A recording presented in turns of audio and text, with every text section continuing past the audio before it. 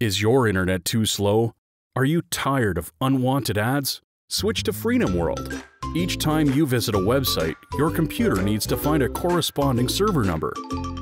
Freenom World helps to find these numbers super fast without storing any of your personal information. Get absolute freedom with Freenom World. This video shows how to change your DNS settings on your Windows 8 computer. To change the DNS on your Windows 8 computer, you need to go to the Start button and search for the Control Panel. You can also find the Control Panel by typing Control Panel once you have clicked the Start button. Once you have found the Control Panel, click to open it. There are various ways to show the Control Panel options. Make sure you have chosen to View by Category. There, you will find the option Network and Internet.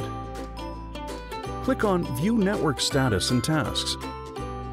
Once you have clicked this option, a new window will slide open. On the left side, you will find your network adapter settings. Please click that. You will now see your various connections. Choose the internet connection you want to use Freenom World with, like your Wi-Fi one. Press the right mouse button to go to the properties of this connection. Here you can see the properties of this connection.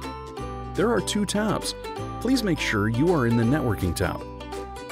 Now, search in the item box the entry Internet Protocol version 4.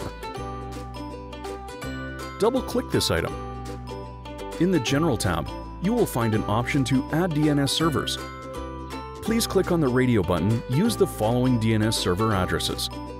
Here is where you will fill in the Freenom World DNS IP addresses. Please fill in 80.80.80.80 Select the tab to get to the second line.